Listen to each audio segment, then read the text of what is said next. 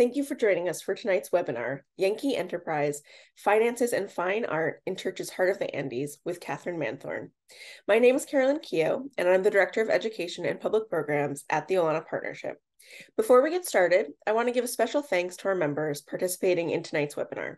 Your continuous support helps make free programs like this webinar possible. In addition to supporting the Olana Partnership, members receive free discounts, discounts to programs and free access to special events, like this weekend's special member preview of our new winter exhibit, Spectacle, Frederic Church and the Business of Art, which opens this Sunday on November 19th. You can become a member by visiting olana.org backslash membership. And to learn more about our new exciting exhibition, Stay tuned tonight during our webinar and visit olana.org slash spectacle. Before we dive in, I'd love to give a quick plug for a special winter solstice celebration that we're hosting on Saturday, December 16th. Join us at Olana State Historic Site for a celebration of winter around the world. During this free program, visit the main house and new exhibition, join indoor and outdoor musical performances by the multicultural jazz band Heard World, and warm up by a bonfire on Olana's East Lawn from 1 to 5 p.m. I hope to see you all there. Now, a few mo- notes on Zoom before we get started. As an attendee, your sound and video will remain off throughout this webinar. Please use the Q&A function to ask questions of our speaker, and you're welcome to ask these questions throughout the webinar, but we won't be an answering them until the last 15 minutes of the program. You can move the speaker's image during the talk if it's covering her presentation by clicking the black bar above her picture and dragging it. If you're having any issues with your Zoom today, please contact me directly at education at olana.org. I will also be available for any troubleshooting if it happens in the chat function. Now, without further ado, please join me in welcoming Katherine Manthorne, who will be helping us kick off our brand new exhibition with tonight's exciting presentation. Dr. Manthorne is an art historian at the Graduate Center committed to the study of the art of the Americas. Landscape imagery is a special passion, embodied in publications like Tropical Renaissance, North American Artists Exploring Latin America, and Traveler Artists, Landscapes of Latin America from the Patricia Phelps de Cisneros collection. Women's contributions to visual culture constitute another theme in her work, featured in two books, Women in the Dark, American Female Photographers 1850 to 1900, and Restless Enterprise, The Art and Life of Eliza Pratt Greatorex, which Dr. Manthorne gave a presentation for about just a few years ago. uh, Dr. Manthorne received fellowships from Crystal Bridges, Museum of American Art, Fulbright, and the Smithsonian Institution. And Dr. Manthorne, we are just so thrilled to have you here tonight. I, I've said it to you privately, and I'll say it to you here before you take it away. What a wonderful way to introduce this exhibition and to kick things off. Uh, take it away. We're excited to have you.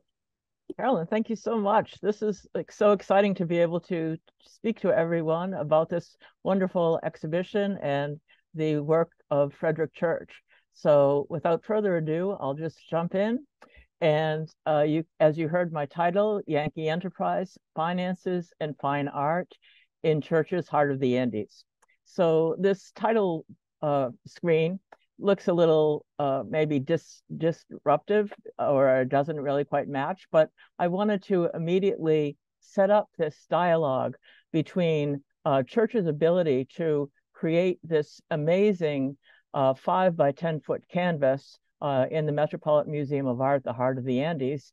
Uh, and that's represented here, of course, by his uh, paints and uh, brushes and painting equipment. So on the one hand, you have this amazing artist who uh, very in this period of the 1850s, when he does this work, is already being recognized as one of the major artists uh, in the United States.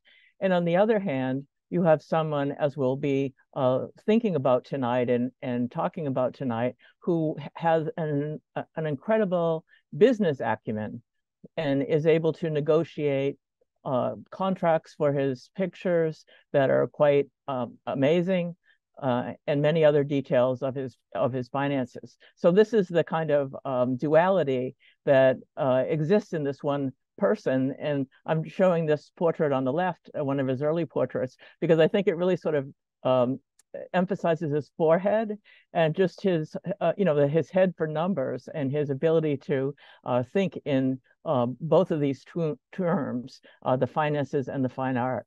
so the exhibition that's opening on Sunday, I hope everyone will get a chance to see it. I'm very excited because when you think about it, the Heart of the Andes over the decades has received um, scholarship and interesting interpretations from a wide number of different scholars. And we've, you know, we've thought about it in terms of Humboldt, in terms of uh, Church's place in the Hudson River School, in terms of Manifest Destiny, and many different uh, kinds of contexts in which we have discussed this.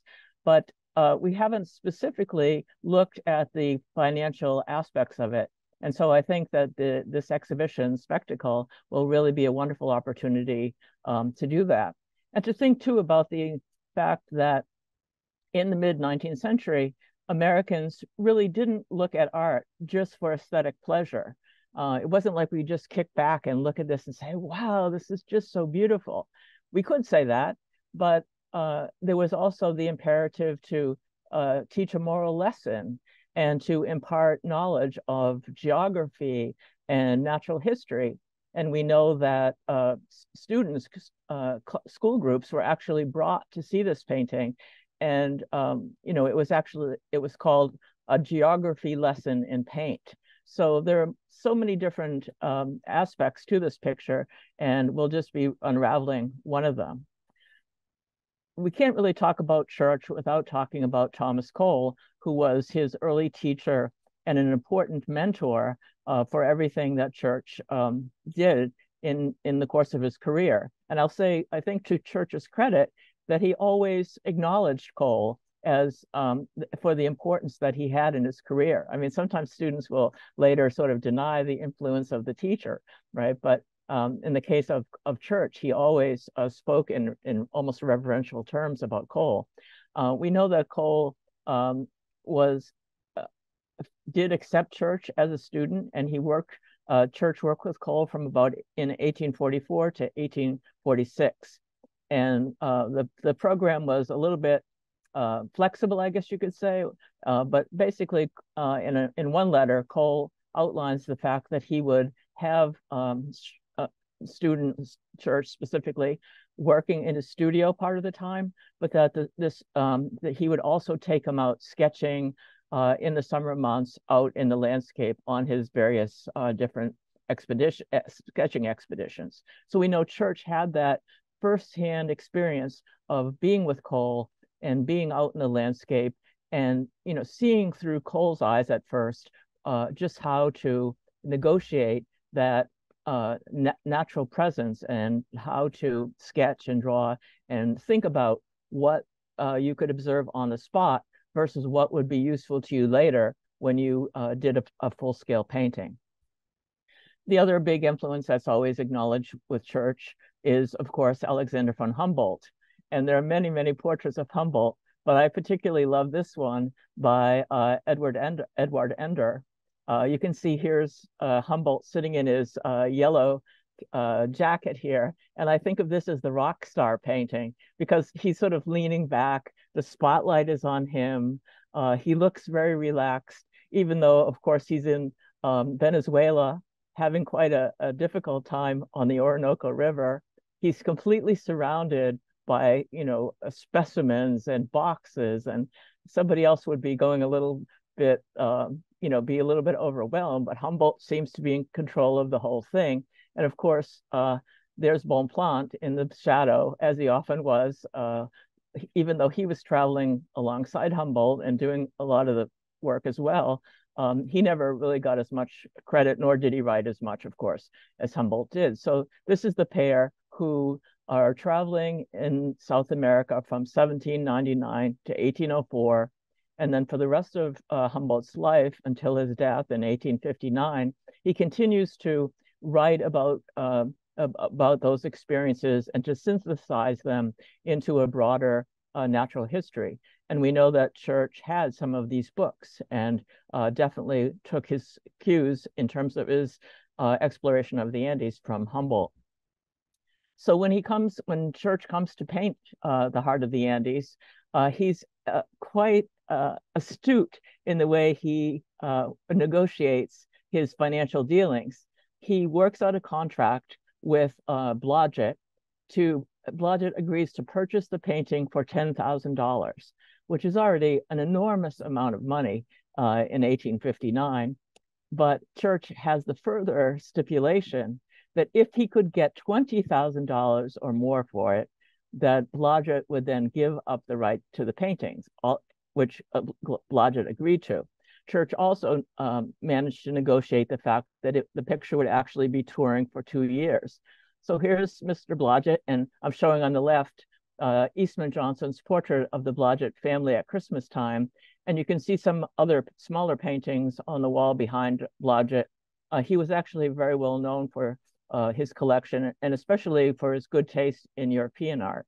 So Blodgett agrees to pay the $10,000, but yet doesn't even see his painting uh, for two years after uh, after that agreement. So we have to ask ourselves ourselves what drove the artist's economics. I mean, this is pretty um, amazing stuff for somebody who um, is basically a painter. He's not. He wasn't trained as a businessman, right? And so what I've been thinking about, and this might see a little seem a little off the wall, but bear with me.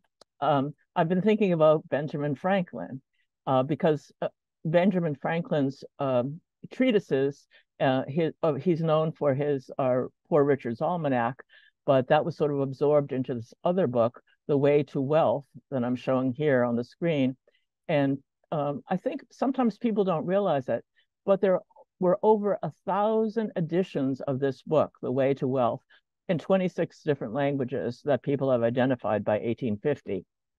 So I'm not saying that church sat down with this book or with this poor Richard's almanac and you know studied it, but these ideas were in the air. Um, Franklin's notions were um, you know almost common parlance, just like we uh, sometimes use expressions from Shakespeare without even knowing it. So you know, express, expressions like early to bed, early to rise makes a man healthy, wealthy, and wise. That's Franklin. But you could imagine the church, his um, his way of conducting his life was very much in in sync with that. So this portrait by um, by Martin here of Franklin, you can see um, the bust of Sir Isaac Newton, and um, Franklin sitting there with his papers and his glasses. And in fact, he was uh, one of the people who really fashioned uh, bifocals, and that's what he's wearing. So he's practical, he's economically savvy. He's many, you know, he, he you can almost imagine that he would have been a guide for church, and of course, uh, church's father. So here I'm just suggesting this trio of Thomas Cole, who's shaping church's approach to landscape painting, Alexander von Humboldt, who is, of course, inspiring him on South America and natural history, but Benjamin Franklin, um, whose ideas on uh, practical matters and also this notion of personal improvement that we'll see was also something that church uh, very much embraced. So I, I'd broken down the um, the presentation into a few different parts that will sort of inform your um, engagement with the spectacle exhibition. So first, just to mention a few basics about Church's travels and his relation to Humboldt. So the map here, you can see the, this is Humboldt's um, travels it is being indicated in these broken lines. But Church basically followed a similar route. Of course, he's not coming from Europe, but uh, so he's coming from New York.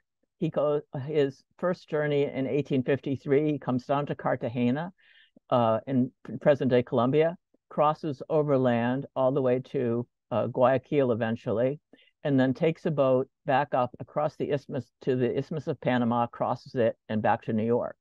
On his second trip, he's just going to Ecuador, so he uh, goes from uh, New York, crosses the isthmus, and uh, down to uh, to Ecuador. So he's investing an enormous amount of time and um, you know pre preparation and expense in order to um, have this experience. And he's basically searching for some of the different sites that humboldt has visited. So on the right here i'm showing you one of the images from humboldt's uh, picturesque atlas um, that's uh, the chimborazo uh, which at the time was uh, humboldt claimed was the highest point on earth later it was um, that was debunked but uh, certainly it's one of the highest ones. And this is the peak that Humboldt saw as, you know, the big challenge that he wanted to climb.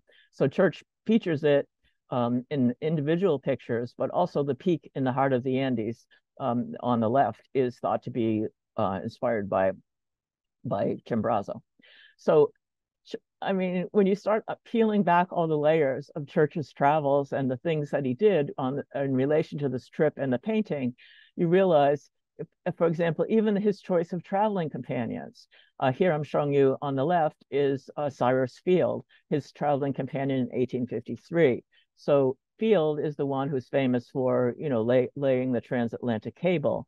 But at the time that he was um, traveling with Church, he the, the, the sort of excuse of their trip was that his brother had disappeared somewhere in South America, and they were going to go find him. I mean, that seems to have been um, you know a kind of vague rationale, but uh, certainly he made an excellent traveling companion, uh, well informed, and also um, a kind of savvy businessman himself. On the right, you can see well, Church is in the middle, of course on the right, you can see uh, this is Louis Mignot, with whom tra Church traveled in 1857. Mignot was a painter uh, as well. And sometimes people make a comment that, you know, Church, um, that somehow Mignot was the lesser painter. But I think that um, when you actually see some of Mignot's work, these are two that uh, came out of the that trip that they made together. You can see that Mignot is quite versatile, for one thing. Um, I had done an exhibition a while back um, at the North Carolina Museum about him. Uh, he was born in Charleston, South Carolina, and so you know comes with a very different uh, sort of heritage than Church. You know, the the New England um, Congregationalist. Uh, was Catholic, um, and I only mention that because it, I think it definitely informed the way that they looked at South America and the uh, people they saw there. But in other words, I'm trying to just say that Mignot was no slouch. I think Church wanted to travel with somebody who had somewhat different skills than he did. And I would argue, and I think I have argued somewhere, that um, after traveling with Mignot, Church's color and sense of light does change a bit. And I think that the two of them uh, complement each other. And uh, that was a wise decision to travel with someone like Mignot. So if we think again about um, just the way Church prepared for his trip, um, his study of not just Humboldt, but natural history, he also tried to, to study a little bit of Spanish. And here on the right, I'm showing you, this is a page from, uh, for a while in 1853, he tried to keep his diary in Spanish. Um, it's pretty much gringo Spanish, but, um, but he gave it a whirl. And he also kept a vocabulary of all the different kinds of words. And like we all do, special foods that he that he wanted to be able to eat. But you can see that um, again, another uh, maxim of of Franklin's: an investment in knowledge pays the best interest. Church, you know, so was so wholeheartedly embracing of this kind of concept. He, you know, think about the library that now exists at Olana. He, um, you know, Franklin too says um, even even when I had very little money, I always invested in books. And Church too, uh, you know, thought of this idea of the library as being uh, foundational to his artistic practice. And um, the image on the left, the Cotopaxi, is an early one in the Smithsonian, um, which follows uh, again Humboldt's some of Humboldt, another of Humboldt's images, but the the little hacienda that he includes in the foreground was actually the place that Humboldt had stayed when he was traveling through there around 1800. Church gets a letter of introduction, goes to the same house, visits the same people, and has that experience of um, not just the experience, but you know, does the research to be able to to know about this and to and to seek this out. Uh, this image is another image of Cotopaxi. Coto, that was one of his, um, you know, pri primary motifs from South America. But I'm showing you this because, uh, again, I find it fascinating. Um, when Church was in Quito in 1853, he writes in his diary, I visited the, the, the studio of the most famous artist here, Senor Salas, S-A-L-A-S. And so we know that the Salas family was almost like the Peales. You know, there was the father and the and the sons and the and the um, and the cousins, and uh, they had originally been uh, colon- painters of colonial religious art and portraits. And um, I like to think that Church's presence, as well as, of course, the influence of Humboldt, um, redirected some of the work that the family members did. And here on the right, you can see Rafael Salas's image of um, Chimborazo but what's also interesting about the painting on the left, which is in the Cisneros collection, is that um, Church apparently left it there. I mean, most uh, most of what he did, he he made sketches and drawings, and he brought them home in order to prepare, you know, works for the future. But this work, um, whether he gifted it to them or exchanged something, it's not entirely clear. But this remained with the Salas family, who uh, founded the Art Academy in Quito. So this uh, remained there until the uh, until the 20th century. It was in the um, sort of could have been a teaching aid, I like to think, although I haven't found the evidence to support that entirely. But I, I mean, I know it was in, it was there. I just don't know exactly how it was used. And of course, I can't talk about Cotopaxi without showing the big uh, version from 1862, which is now in Detroit. But this was commissioned by James Lennox, who was the um, the founder of the New York Public. So again, the idea of knowledge, of um, and you can see that over time church's ideas about geology his knowledge of geology have expanded. And now th- there's this great rift in the earth. They, you know you have the sense that there was a eruption and an earthquake and we can see these incredible stratifications uh, in the in the rock and again he's he's studying about this he's reading it about it uh, well, to, again, tourists, you know, you go, you you're traveling through the country. Uh, Church had a particular interest in textiles. It seems uh, there was a recent exhibition at Olana about the some of the different um, costumes and and outfits that he had purchased when he was in um, Jordan and um, in Jerusalem, and uh, when he was in Mexico, he also uh, acquired the Rebozos. There was a very interesting lecture about that at Olana, which I guess um, we can check with Carolyn, but I'm pretty sure it's on um, available on YouTube. And here you can see he's already looking in 1853. He's always looking already looking at the Ruana or this um, cape that the um, the man is wearing here in Heart of the Andes. And he writes back to his mother in 1853 a fine Ruana requires six months' work often, and yet the best seldom bring more than eight or ten dollars. So think about that. He's not writing, "Wow, mom, you know, I saw these great uh, garments that these men are wearing," or you know, anything of that sort. No, he's immediately thinking about labor expended versus the market value accrued in these um, in these garments. So I, I, to me, it just says that it just speaks volumes about uh, the kind of thinking that uh, is ingrained in Church's uh, approach. So creating Heart of the Andes, we talked a little bit about his travels. And of course, he makes many, many draw pencil drawings, as you can see here, oil sketches. Some of them are just the animals. I love the llama here, uh, as well as more finished uh, landscapes. But we know from some of his associates, um, and especially William Stillman, he talked about the fact that Church had one of the most remarkable visual memories he had ever seen. Um, he said, you know, Church could look at something and, you know, two days later, draw, you know, draw some kind of exact um, just description of it. So he has this wonderful visual memory, but he's also making, you know, we can imagine thinking to himself, okay, I'm only here for so long. I have to make these drawings. I'm not sure what kind of painting is going to come out of this, but I need to have, um, you know, get as much uh, recorded as I can.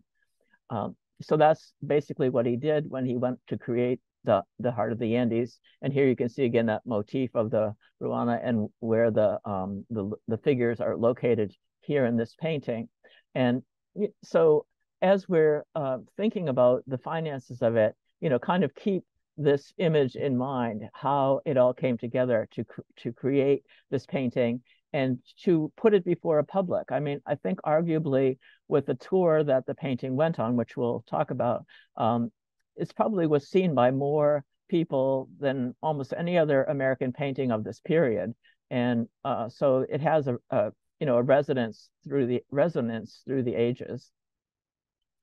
So these are again just two details uh, from the painting and you can see you know how much uh, detailed laborious kind of minute work he would have been using a very fine brush to create some of this material uh, you know of the uh, of the vegetation of the you can see the butterfly the the bird and of course i love this detail that i where i put the arrow uh, that's signed where he signed and dated his name in in the tree.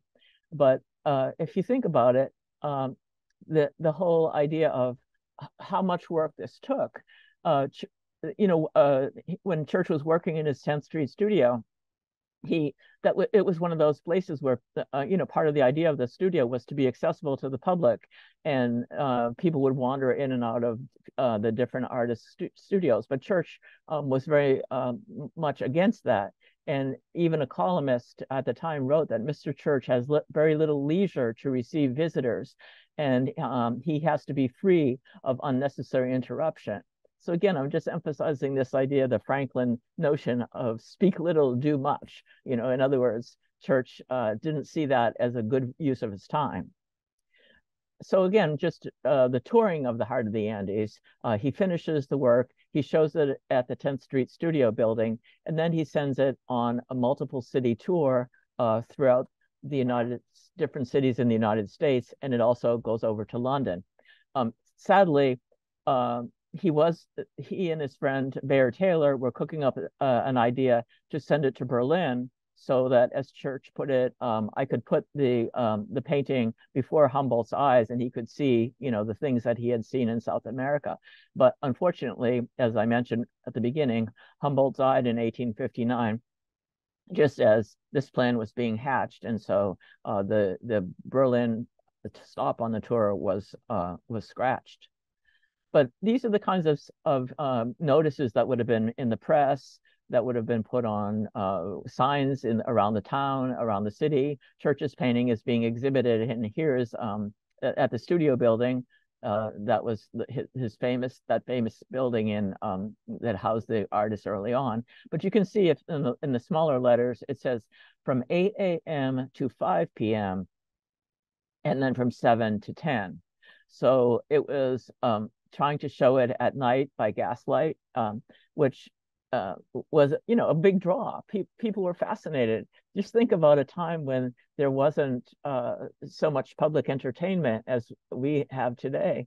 I mean, this was an amazing opportunity and uh, was the talk of the town.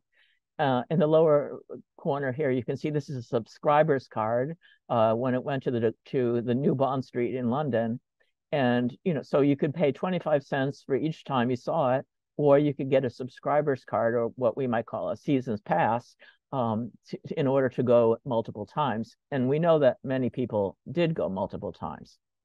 So um, just to remind remind people or to mention for those of you who aren't as um, wild uh, ch church fans um, that prior to the heart of the Andes, uh, Church had painted Niagara in 1857, another large painting.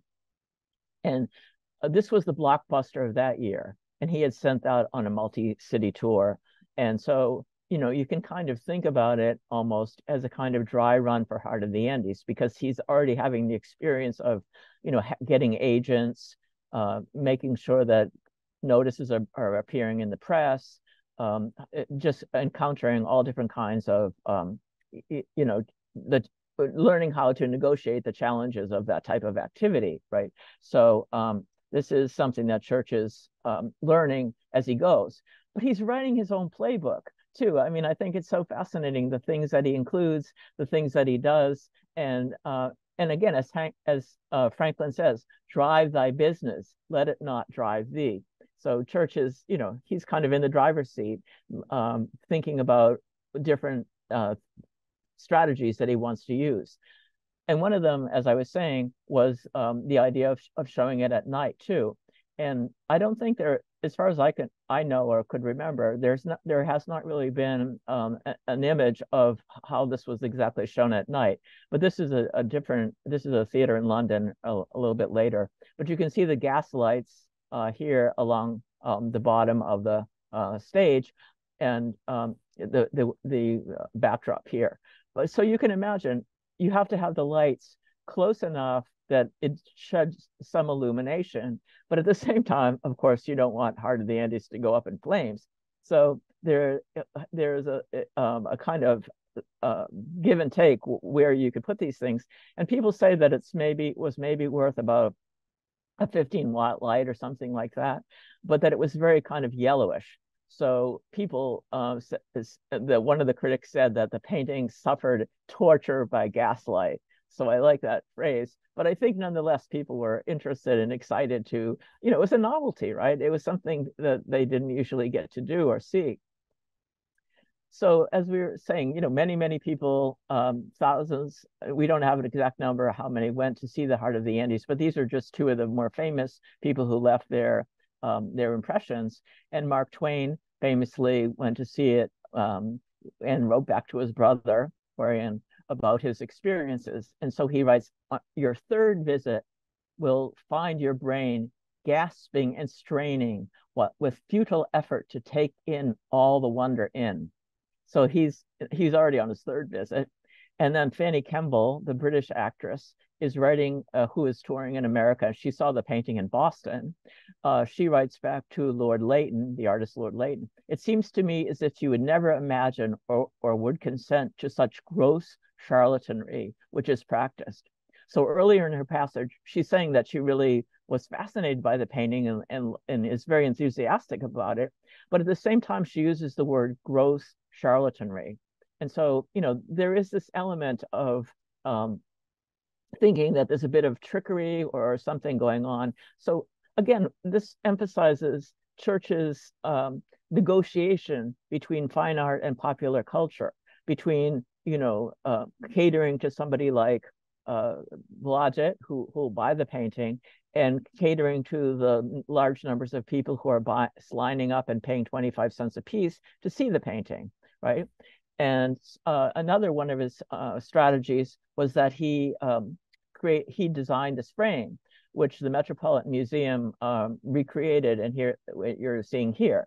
So it was this idea of the window onto the Andean world, right? So that's the sort of um, motif and you can see that you know that idea that you're looking out and just enjoying all the different aspects of this scenery um, and but as you can see another critic wrote as an accessory to mr church's picture the frame is barnum-esque so he's comparing it to pt barnum right and although objectionable altogether objectionable artifice does not fraternize with art. But that's exactly what Church was doing. He, he was taking some risks and uh, you know trying to uh, negotiate this new um, kind of border between fine art and popular culture. And I think you know it, it paid off quite handsomely in his case. Uh, um, another uh, aspect of it was people were advised to bring their opera glasses, and if they didn't have them, there were some available uh, in this hall where Church uh, set up the painting. He would also, uh, when he first showed it in the studio building, he had um, palm fonts and uh, birds, you know, tropical birds chirping away and things like that. So people could really have this kind of immersive experience. And so on the one hand, you would take in the whole painting and you know get the full breadth of the Andes. But then when you put your opera glasses up to your eyes, you know you would see something like this little portion, this little uh, segment here. So again, uh, Mark Twain writes, we took the opera glasses and examined its beauties minutely.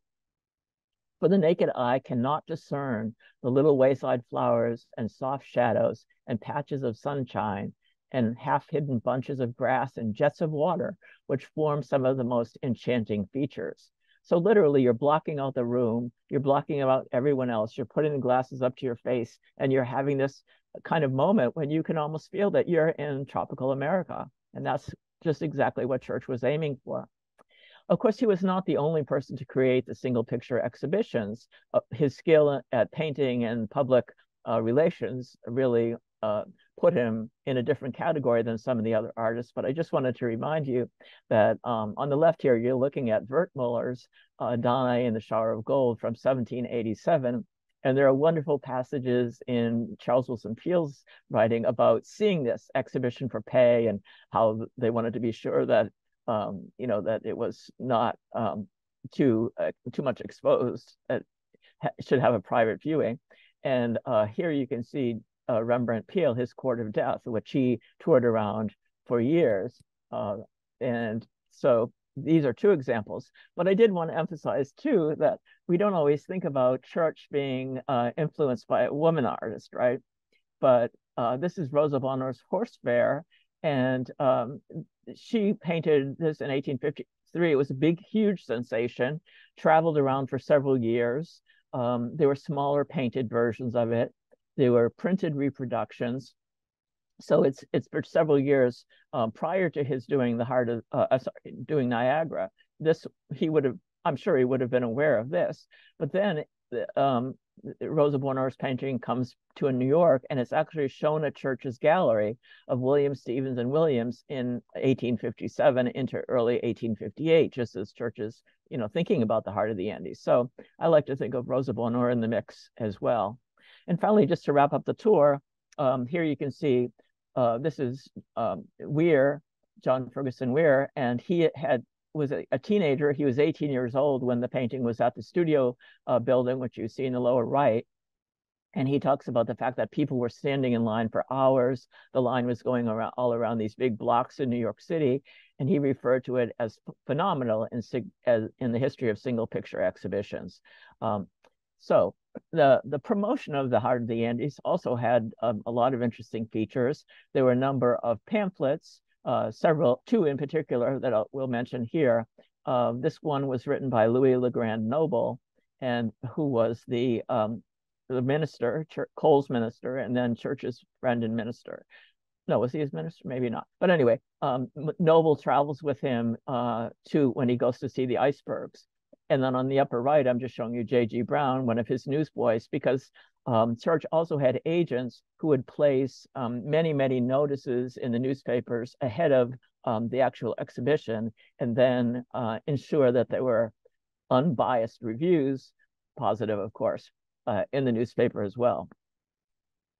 And the other person who wrote the uh, one of the pamphlets is Theodore Winthrop, who was Church's close friend um, in, in this period. And here you can see on the left a portrait of uh, the photograph of Church seated and uh, Winthrop standing over him. But sadly, uh, Winthrop uh, signed up for the Union Army, and uh, he it's often mentioned that he was the first Union officer killed in the war in one of the very er early battles, the Battle of Bethel. Um, but so um, anyway, that was a terrible tragedy. But Winthrop is a very interesting uh, character in, in, relation to Church because um, Winthrop went to Yale and studied at with Benjamin Silliman. And I don't know if that name is familiar to everybody, but Silliman was like Mr. Geology, right? He taught these geology courses at Yale. He uh, did state surveys. He uh, started this journal called the American Journal of Science and Art. Uh, he was really uh, another voice of um, natural history becoming more popular. And later, when I when I was going through the Theodore Winthrop papers, I found that uh, Winthrop actually writes to Silliman and says, "Oh, I was, you know, I'm your one of your former pupils," and he goes on. But but my point here is that Winthrop knew geology. So when he's describing uh, Church's painting and talking about the different um, aspects of the mountains and the geological forces in South America, you know, he knows what he's talking about. So literally, these books yeah, these little pamphlets, I should say, well, they're about 50, 40 or 50 pages, I think, um, is taking the viewer by the hand and saying, okay, here's this feature. That's this is what this means. Here's this feature. This is what that means. And uh, really, you know, ex- the expositor for church, the voice of church, uh, talking about the painting. Anyway, so um, that was another strategy. So church hires John McClure to oversee the logistics and the and the tour of the painting. And again, church has this um, draws up these contracts. So the contract required that half of the net profits of the tour would go to church, and that McClure had to insure the painting for $10,000. And they also had this publicist named Richard Miller who places the ads and the quote unquote impartial reviews. And here you can see this is New Bond Street. That was the area where Church's show was um, appeared. And this was the area where, you know, a lot of the galleries were already located. So um, it's well situated. And another uh, strategy they used was to make reproductions of it. Only one person, of course, would have the painting, but um, many people could own engravings after it or reproductions after it. So this is a work by William Forrest that you can see here. This was not completed till 1862, But when you went in to see the painting, see the Heart of the Andes, you can sign up and subscribe so that when this engraving was done, uh, you would get your copy and, of course, pay for it. Uh, and so there were, you know, Forrest saw the painting when it was in Britain, but then they also had um, this. This is a watercolor in the National Gallery, which um, it was probably one of the um, sources. It was carefully done a reproduction of the Heart of the Andes from which uh, Forrest could have worked. And of course, this is just Humboldt's Chimborazo here and another painting that Church himself did of Chimborazo uh, that appears in the back of Heart of the Andes. And you know, I just wanted to em emphasize again that some a lot of people, including Whitridge, um, thought of Church as kind of a, a pretty lucky guy, right? Uh, writes that Church's Church was for, Fortune's favorite from the beginning. But again, I'd refer you to Franklin, who says diligence is the mother of good luck. Church worked all the time. He was an extremely um, diligent and conscientious uh, person, and um, uh, that was also partly due to his father. So here's the portrait of his father here on the left, Joseph Church. Um, Joseph Church's family uh, were in the paper making business, was in the paper making business, and he worked there with them for a bit. But then he actually moved to um, Hartford and worked and established his own business there, which was um, watchmaking, uh, jewelry, and uh, silver. And he was extremely um, successful and, and good businessman. Uh, David Huntington, one of the early scholars on church, calls him the Puritan businessman. I like that. And here I'm just showing you two of the, um, you know, the logos for his company his, with his partner Rogers. Um, so uh, Church's father then um, moved on from just being um, a jeweler and, and um, you know in a, his own specific business and he became very involved in the um, growing insurance company uh, insurance industry in that was especially connected to hartford where where he was. And he was actually on the board of trustees i think for the aetna company for something like 43 years so Church himself, Frederic Church, becomes immersed or enmeshed, if you want to say, in the expanding insurance industry of his native Hartford. So I mean, I've read many, many artist letters and, and, and diaries, and I've never seen as much emphasis on insurance as, as Church um, insists upon. So, uh, as we said, he insisted on Heart being, um, Heart of the Andes being insured, but he writes in his letters, um, oh, I, I have this painting in my studio. I have insured it for such and such an amount of money. So when you buy it, you know, he's talking to one of his patrons, when you purchase it, um, I will transfer the insurance to you. So he's very careful about all this. So again, I'm just uh, comparing to Franklin because Franklin is really considered the kind of father of American insurance. Um, you know, he started the volunteer fire company, but then he saw all the damage that um, you know, the loss of property can do. And so he was actually founded the first insurance company in the United States. So, um, or in, in uh, well, even before that became the United States. So um, another parallel. And of course, we can't uh, tell the story of Church and the heart of the Andes and the finances without um, mentioning his mother um, and his wife. Uh, his he he wrote constantly to his mother on his travels, and um, uh, again, his his marriage, his his home are all tied up with Heart of the Andes because um, it was when Isabel uh, Carnes came to, you know, traveled from her native Ohio to New York City to see the Heart of the Andes that she met Church and they got married in 1860. And then it's said that Church took the $10,000 from Blodgett and used it, you know, to buy the property uh, that became Olana. So it's all, it's a wonderful kind of story altogether. Well, as Franklin also said, if you would not be forgotten as soon as you are dead and rotten, either write things worth reading or do things worth writing. So, Church, of course, I think con- con- consciously or subconsciously was very aware of what his reputation, you know, what he wanted his reputation to be, and uh, worked hard for that. So here you can see the heart of the Andes. Again, we're um, maybe overdoing the seeing the heart of the Andes, but uh, this is uh, the way it was shown in the sanitary fair in 1864.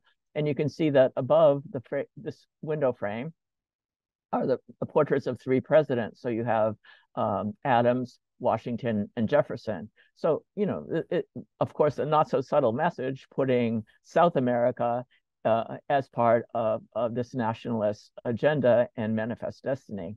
And here is just a one of the Bierstadt brothers uh, stereographs of the sanitary fair. And you can see I'm just pointing to the heart of the Andes with the painting with the uh, portraits above it. Lois is at the end. And if we could see the other wall, we would see that Bierstadt was over here. So it's the trio from uh, this now in the map. So Church goes on to uh, see, visit and paint many other places as well. Uh, of course, this is uh, the rock El Khasné at Petra, and um, he goes to Mexico. He starts going to Mexico about 1880, and we know that you know he talks about the fact that he can no longer travel to South America, which he very much misses. But he sees uh, Mexico as kind of the next best thing. So he's he travels uh, in Mexico and and doesn't seem to have made uh, any large scale paintings, but still is is still drawing, still sketching, still doing uh, oil small oils.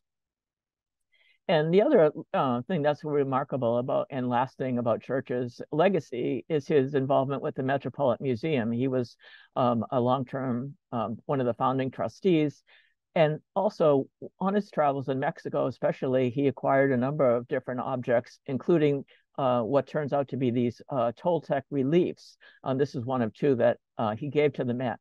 Um, and you can, the last time I was there anyway, they were still up. But um, what's also interesting is that when he wrote the letter to the Met giving these works, which are still in their files, he actually says he gives it in the hopes that it will establish a gallery of art of the Americas.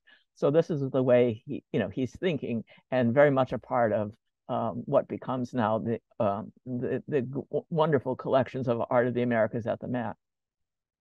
Well, we have to bring it home, right, to Olana. So uh, here you can see uh, the home that he purchased uh, in the wake of uh, and with some of the profits of the Heart of the Andes and this wonderful um, work that's going on at Olana. I hope if you haven't been there, uh, you'll visit because uh, there's really an effort to sort of recreate a lot of what Church had as his working farm in later years when he could no longer paint as well he uh, he turns his attention much more to um, the agricultural aspect of it. So this is no you know country villa. This is a working farm, and here you can see this is um, his gardener. This is the um, so-called kitchen garden, and then his studio. And this might seem a bit jarring or um, maybe a little bit offbeat, but I couldn't help thinking about somebody like uh, Church in relation to Andy Warhol, because Warhol too um his you know he doesn't call it a studio he works in his factory right? He calls his studio his factory and he's working in multimedia and he's trying to aim uh, for a very popular audience. So um, i thought i would just end on this note of the uh, the these two bookends of american art uh, frederic church and andy warhol. Thank you for your attention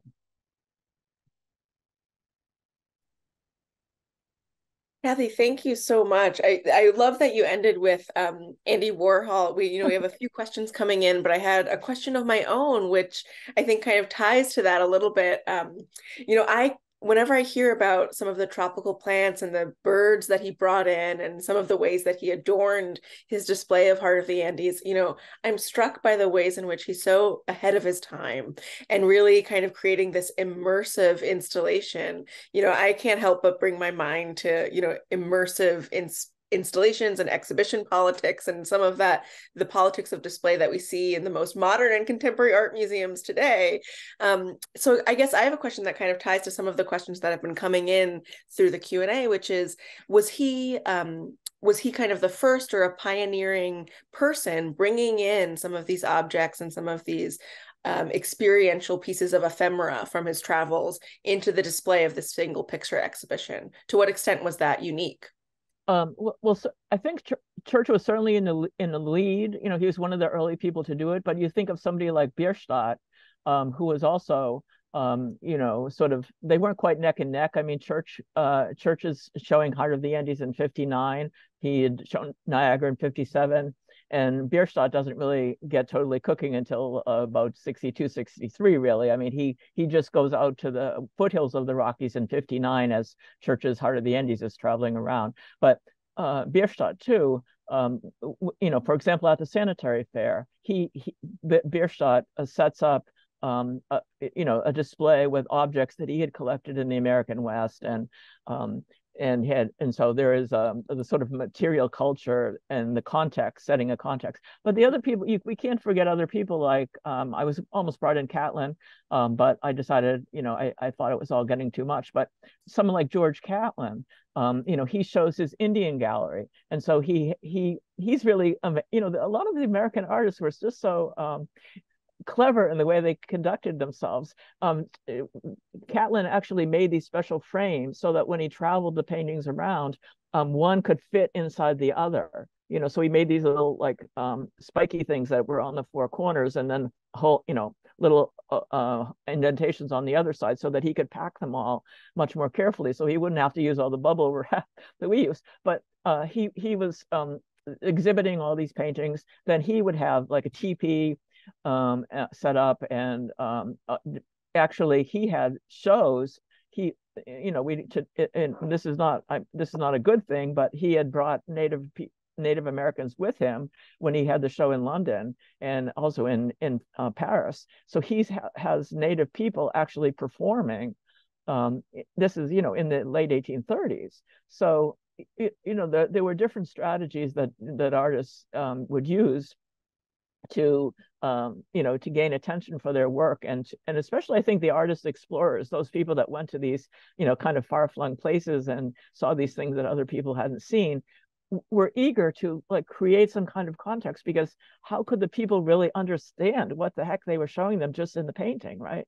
They had to have um, like some aids in order to really grasp it. And catlin too you know he wrote he wrote books he's he's doing the shows he's doing his paintings. So you know there there were a lot of strategies that, that were out there but i think um catlin you know never was financially successful. So church um, seemed to be also he, it's kind of a matter of timing too perhaps you know i'm sure. Mm. Yeah, I think with with that in mind, we had a question come in um, from Christine Oaklander, kind of thinking a little bit about Thomas Cole's touring um, history of touring. You know he toured voyage of life extensively and perhaps this was an influence. Um, he had tallies of the number of visitors and the money that had taken in. Um, so perhaps that was part of the influence for church. Um, so that i don't know if you have thoughts on that and thoughts on on on cole's. I think sometimes we all often think of timing in terms of church's success versus cole's as well Oh yeah, well, I mean, you know, that's why I started out. The first artist, I, the first thing I really mentioned was Cole. You know, Church's painting to the memory of Cole, uh, because Church was, um, you know, totally um, uh, uh, absorbing all of all of the lessons that Cole had to teach him, including the financial ones. But um, you know, so so there's absolutely th- those things are in play as well. Um, but uh, Cole you know, again, Cole's success wasn't, um, you know, wasn't really the kind of thing that um, of the same caliber or the same quality. I don't think that Church's was. I mean, he just never made that as much money, and uh, so you know that was why I brought in some of the other influences as well. But but certainly, I think Cole and also uh, Church's father.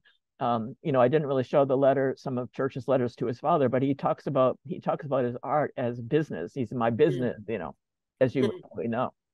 Yeah. So, so, you know, it's there's no one thing, right? I mean, church is like a sponge, um, or we're all like sponges. I mean, we are absorbing different influences and different. So it's not it's not as if we're um, saying this this was an influence and this wasn't. I mean, he's kind of uh, taking things from many different sources and and combining them to um, write his own uh, uh playbook.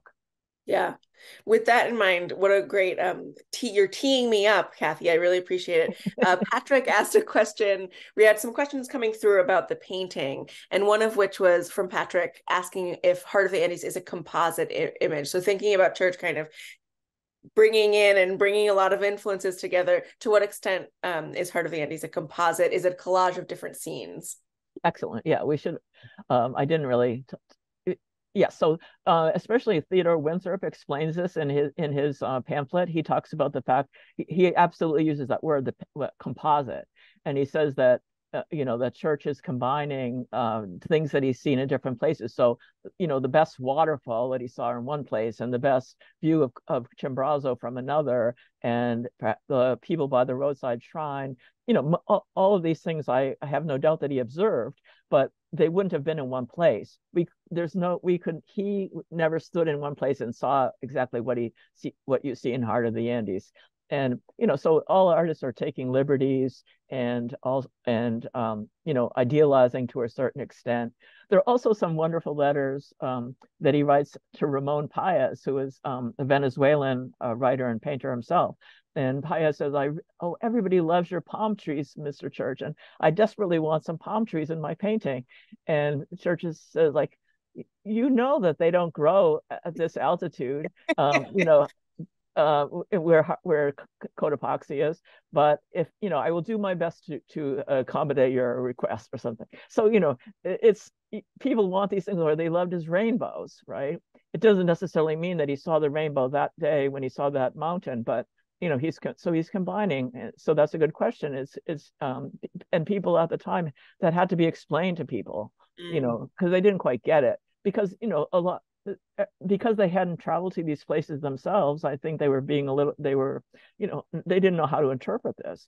But and a lot of the um critics the the yardstick a lot of times was realism right? Like with mm-hmm. Bierstadt's paintings too like this doesn't look like a mountain the right mount type of mountain or something you know, they measured it by realism, but so Winthrop and others are trying to explain, no, no, no. You know, church combined all these things, and you're seeing the best, right? Church had to travel for six months and, um, you know, face all kinds of dangers just to see all these things. But he's combining in, the, in this one painting for you to enjoy. So, yeah, it, that was kind of the um, the logic of that type of uh, composition. Yeah. And I, I love, you know, kind of thinking about that and thinking about him in relationship to to a buyer, to a market, because I think it really contextualizes the artist in in an in a larger ecosystem and in one in which there is, you know, a, a business and a market and this kind of uh you know popular popular culture but also this uh, new emerging business opportunities. We had a comment come through from lynn lynn valenci um, not so much a question but co- a conjecture that maybe the early trip with cyrus field who was by 1853 fascinated by developing the telegraph um, Field would have been looking at South America and the majesty of Cotopaxi and the land of Ecuador, maybe as business opportunities for mining, and maybe would have had influence on church in terms of making a living as an artist. So thinking about church also existing not only in this ecosystem, but I don't know if you have any thoughts on on that as well, in this emerging business business field and extractive businesses as well. Well, absolutely. Yeah, that's a that's a good point. I mean, Field was um, you know he says he says himself that when he came back from south america it was kind of an you know like a, a, turning point in his own life and that's when he turned more towards the transatlantic cable. But when they were traveling i think his brother had actually set out to find these mining opportunities the lost brother that was they were supposedly looking for. And um, you know so so they are thinking about those things absolutely. But to also keep in mind that humboldt himself went to, to his training was in the school of mines mining and that he was supposed to also be looking for these kinds of opportunities for uh, for people and and some of his writing addresses that and mm. not just Humboldt but this church is part of this whole moment you know I talk uh, when there are many many American travelers from the U.S. Um, looking for opportunities in South America so there and well in Mexico too. So so because remember the Mexican U.S. Mexican War was just 1840 ended in 1846 ended in 1848.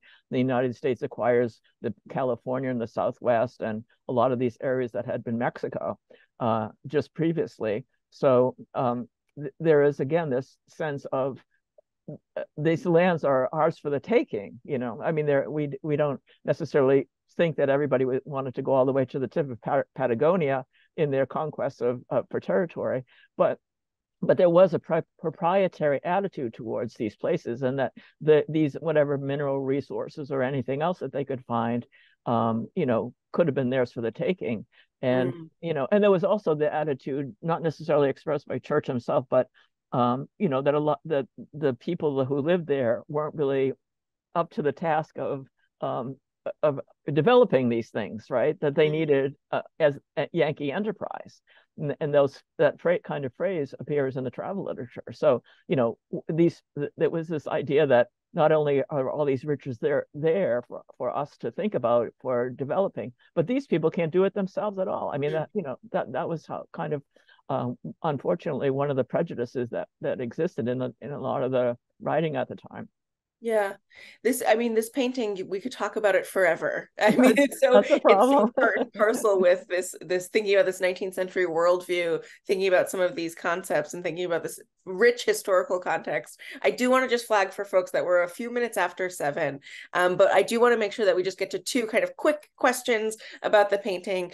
Um, Katrina asked if the painting, if Heart of the Andes will be on loan from the Met for the new exhibit. And so I just want to clarify for folks that while the exhibit uh, will not include include the painting, we will be having a lot of the ephemera and the various um, materials that church used to advertise the painting on view, as well as an immersive installation 2D, two and a half D video that I encourage everyone to come take a look at that takes you into the uh, into the painting. So it's really a wonderful show, and I, I encourage you to come check it out. Um, and then I just had one question about the the provenance of the painting. So Blodgett purchases it. Who donates it to the Met? It was late. he let's see, so he dies in '76, and then uh, somebody else acquires it, and then yeah, and then it's given to the Met pretty early, pretty early on. Yeah, mm-hmm. so Blodgett lives till '76. Um, Church um, borrowed the painting again for 64, and then he borrowed again. So uh, poor Blodgett didn't have didn't have that painting uh, as long as he might have hoped, but uh, but he was a, a very patient patron. Uh, Lynn clarified that the the it was bought by Turney Stewart, the Gilded Age collector. Oh, that's right. I forgot about that. Sorry. Yes. yeah. Oh, wonderful. Thank you, Lynn. that that adds yeah that adds to the richness of it because of course Stewart was the big uh, uh, department store magnate.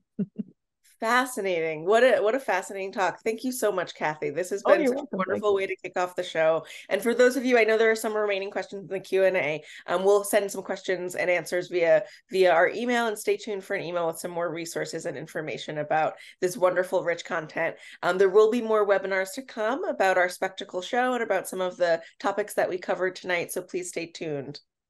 Thank, Thank you. So you. Good night. Yeah.